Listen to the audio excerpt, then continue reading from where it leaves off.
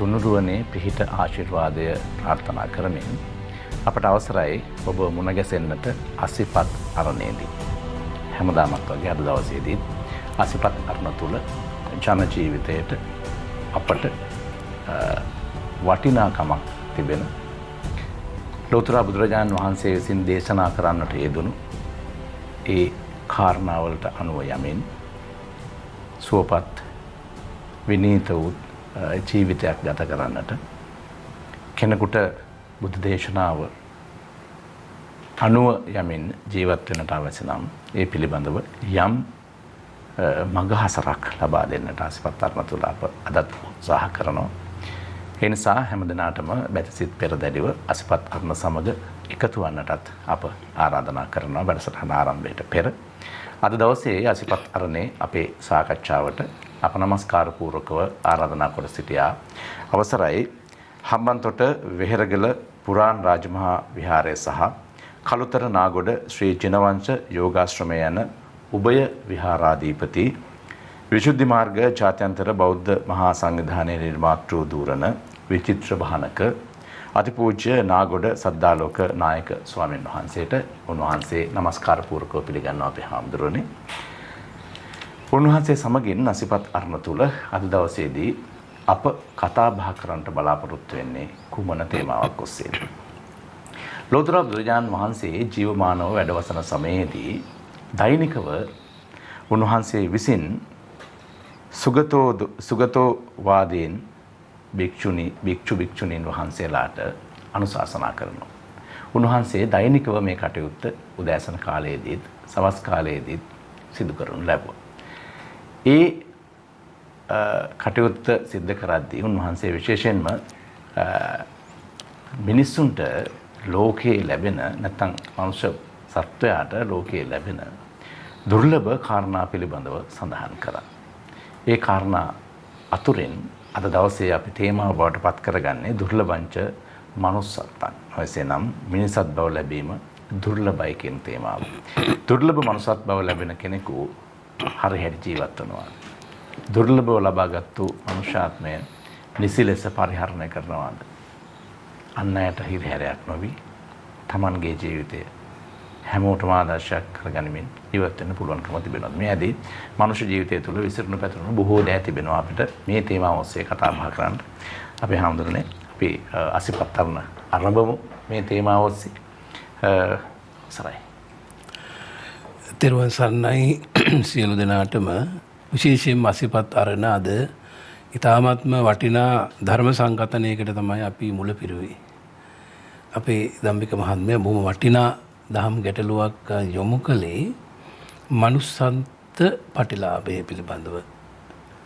දුල්ලබෝ මනුස්සත්ත පටිලාභූ කියලා භාගවත් බුදුරජාණන් වහන්සේ වදාළ මේ තාම දුල්ලභ මනුස්ස ජීවිතයට වටිනාකමක් සලසා දෙනුවස් තමයි මේ ධර්ම සංකතනය තුළ අපි බලාපොරොත්තු වන්නේ නේද.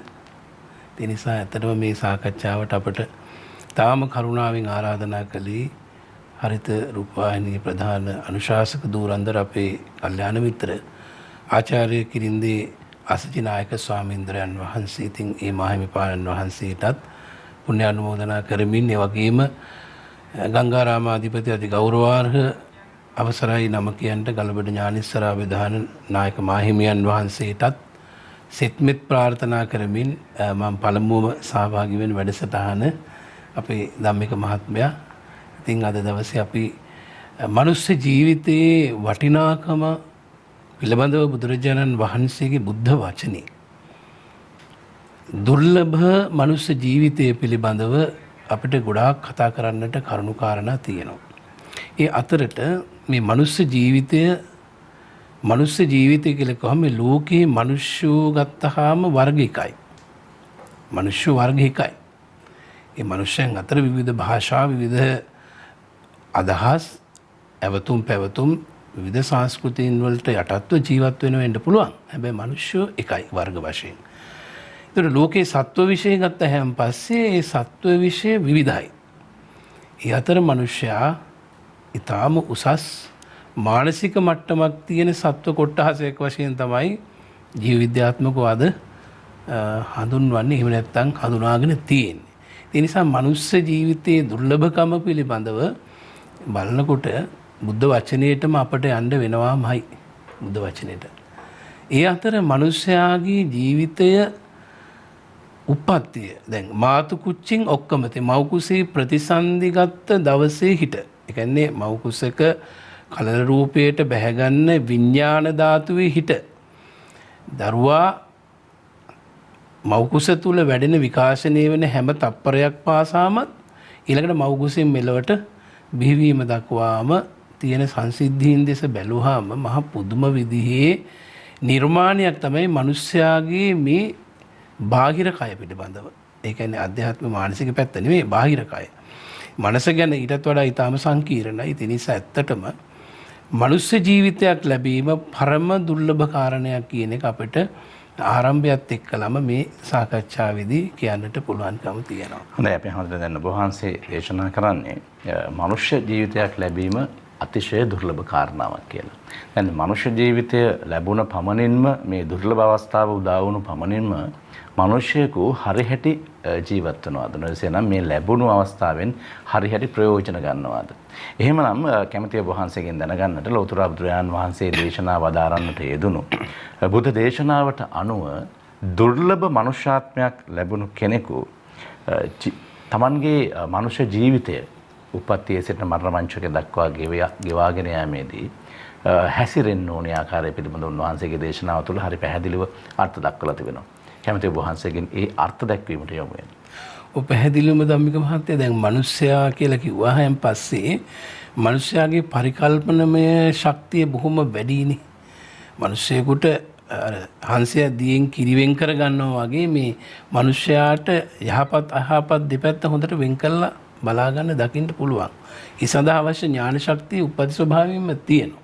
ඒක ප්‍රාමාණිකව වෙනස්කම් තියෙන්නට පුළුවන් කෙනාගේ ස්වභාවය අනුව වෙන සංසාරික පින අඩු වැඩි භාවය අනුව. නමුත් මිනිස්සයා දැන් අපි හිතමු මෙහෙම දැන් අපිට බුද්ධ දේශනාවට අන්තර්ගතවම කතා කළොත් භාගවත් බුදුරජාණන් වහන්සේ මේ මිනිස්යාගේ ජීවිතය පවත්වන්නට උවමනා කරන ආකාරය සහ මනුෂ්‍ය ජීවත් වෙන්න ඕන විදිහ. කියන්නේ සීලාචාර මිනිස්සෙක් වශයෙන් ජීවත් වෙන්නට අවශ්‍ය මාර්ගෝපදේශනය දීලා තියෙනවානේ.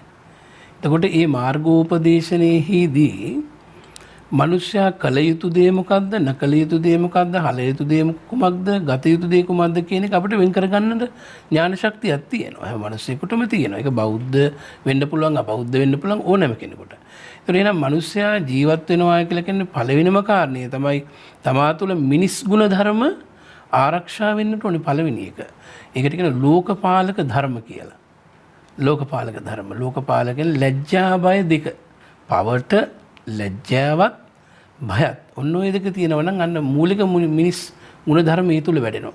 නම් පව් කරන්න ලැජ්ජ වෙන එක මිනිස් ධර්මයක්.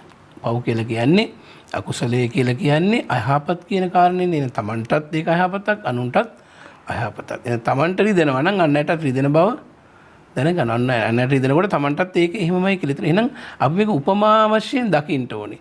තමා වගේම තමයි අන්න අයත්. දැන් තමා කැමති සතුටින් ඉන්න අන්න අයත් කැමතිනේ. සිසු අයත් කැමති. එහෙනම් හැමතිස්සේ එහෙම අර ලෝකපාලක ධර්ම ලැජ්ජා බය දෙක වැරදි වැඩ කරන්න අකුසල් කරන්න අයහපත් දේවල් කරන්න තමන්ට අනුන්ට මෙලොවට පරලොවට අවැඩ පිණිස තියෙන ධර්ම තියෙනවනේ එවෙන් ඈත් වෙලා යහපත් විදිහේ හැමෝටම සැපදායක සුවදායක කොටිම කිව්වොත් තමන්ගේ මනසට එකඟව ජීවත් වෙන්නට පුළුවන් විදිහේ මිනිස් ජීවිතයක් අපිට ගත කරන්නට මේ ලෝකපාලක ධර්ම ලෝකයේ මිනිසයා ලැජ්ජා බය දෙක ඇතුව මනුස්ස ගුණ ධර්ම දෙක ඇතුව කටයුතු කරනකොට තමයි බුදුරජාණන් වහන්සේගේ මේ වටිනා උත්තම ධර්මයෙන් ප්‍රයෝජනයක් ගන්නට පුළුවන්කම තියෙන. ඒ ප්‍රයෝජනය තමයි බුදුරජාණන් වහන්සේ පෙන්නපු මාර්ගයට අනුව මනුස්ස ජීවිතේ පවත්වන එක. එතකොට මේ සමාජය දිහා බැලුහාම රටවල් වල ලෝකෙ මේ හැම තැනම මනුෂ්‍යයාගේ ප්‍රශ්නය ඇති වෙලා තියන්නේ මනුෂ්‍යයා අර ගුණධර්ම වලින් ඈත්වීම නිසා. ඒ සඳහා මූලිකව සිද්ධාන්තයේ තමයි අර ලෝකපාලක ධර්ම මනුෂ්‍යගේ ජීවිතේ වැඩ කරන්න ඕනේ.